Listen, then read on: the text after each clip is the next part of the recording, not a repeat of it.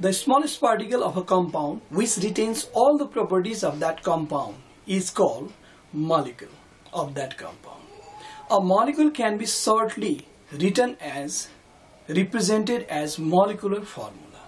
Just for example, water its smallest particle is water molecule and a water molecule contains two atoms of hydrogen combined with one atom of oxygen. So its molecular formula is H2O. In the same way, table salt, its smallest particle which retains all the property of table salt is NaCl which contains one atom of sodium combined with one atom of chlorine. This way today I am going to teach you how to write molecular formula of different compound and I have taken many compounds on the chart and I'll write the molecular formula of each of them. But before we start to write the molecular formula, I want to mention the name of some compound. How to write the name of some compound. Just for example, when iron combines with oxygen, they form iron oxide, not iron oxygen. Magnesium when combines with nitrogen, we never write magnesium nitrogen, magnesium nitride. In the same way, oxygen when combined with calcium, calcium oxide. Aluminium when combines with sulfur, aluminium sulfide. Now I am going to write some fact related with the naming of the compound this way. Chloride means chlorine is combined.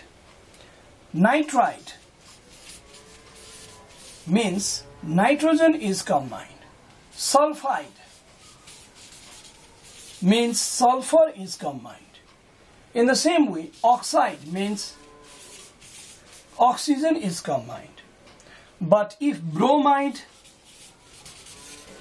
bromine is combined, hydride, hydrogen is combined. This way, we have to uh, take care of this ide. Ide represents certain element is combined. After this much understanding about the naming of the compound, now I'm going to tell you how to write molecular formula of different compound. Look at the chart paper. I have taken many compounds here. Calcium chloride. How to write molecular formula of calcium chloride? Before writing this molecular formula, I want to tell you one more thing related with molecular formula in previous class I told you about this symbol. I told you about valency and radical. And I mentioned the symbol and valency of different elements. And I mentioned the formula and valency of different radicals.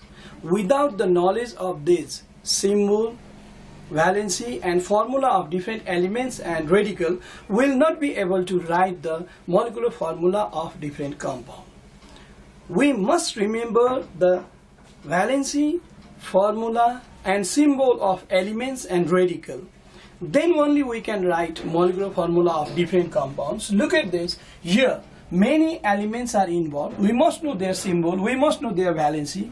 Many radicals are written. We must know their formula and we must know their their uh, valency and then only we will uh, be able to write their molecular formula. Look at this calcium chloride. While writing molecular formula, calcium symbol is Ca. Chloride means chlorine is combined Cl.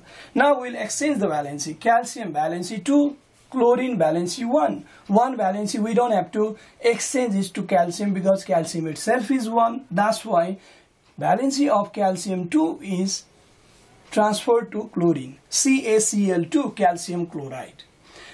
The reason is very simple, combining capacity, that is valency of calcium is 2. But combining capacity, that is valency of chlorine is 1.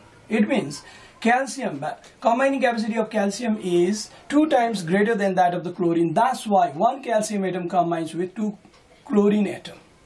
This way we are writing molecular formula. Just the exchange of valency gives us correct molecular formula. Iron oxide. Iron, its symbol is Fe.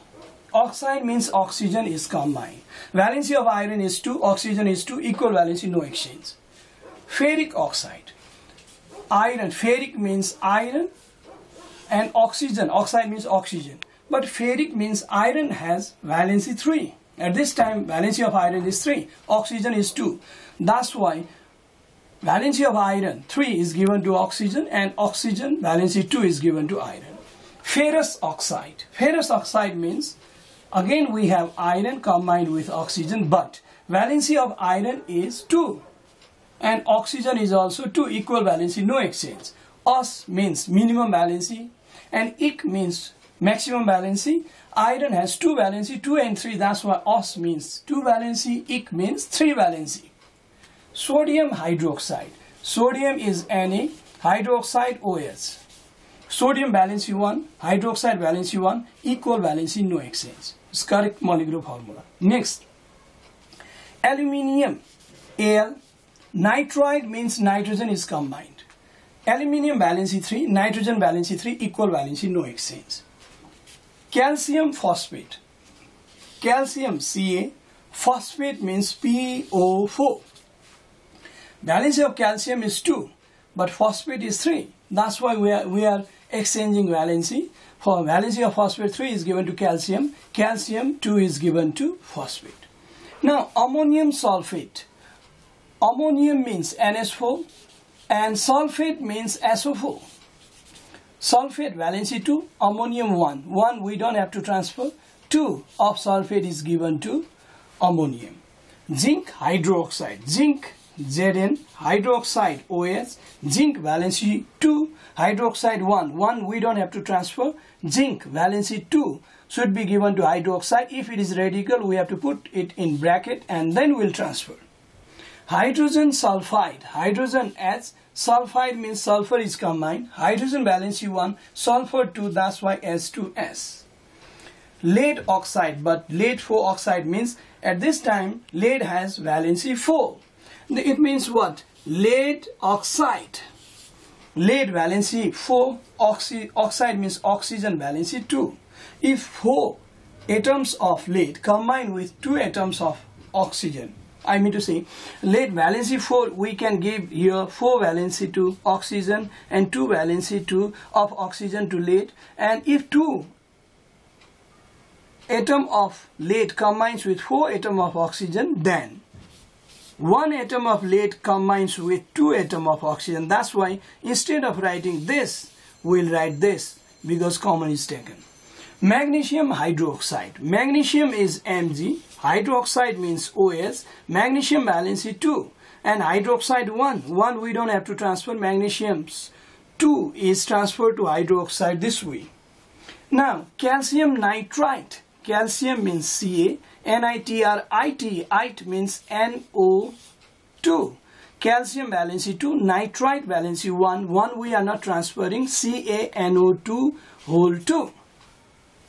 Cupric oxide, ic means maximum valency, copper has 1 and 2, valency 2 is maximum, that's why cupric oxide, CuO, copper has valency 2, oxygen valency 2, equal valency, no exchange. Now look at this, hydrogen bromide. Hydrogen as bromide means bromine is combined. And both of them have one valency equal valency no exchange. Aluminium sulfate aluminium means Al sulfate means SO4 valency of aluminium is 3 sulfate is 2 that's why sulf 2 of sulfate is given to aluminium 3 of aluminium should be given to sulfate but we have to put it into bracket because the whole sulfate is 3 calcium bicarbonate. Calcium Ca bicarbonate means HCO3 HCO3 now calcium valency 2 bicarbonate valency 1 we we don't have to transfer 1. Calcium 2 should be given to bicarbonate. Magnesium hydroxide. Magnesium Mg, hydroxide OH, magnesium valency 2, hydroxide 1. 1 we don't have to transfer. That's why valency of magnesium 2 is given to hydroxide. This way we can write molecular formula of a compound but it is possible only when you are clear about the valency of element and its symbol and you are clear about the uh, formula and valency of radical. Without this, you will not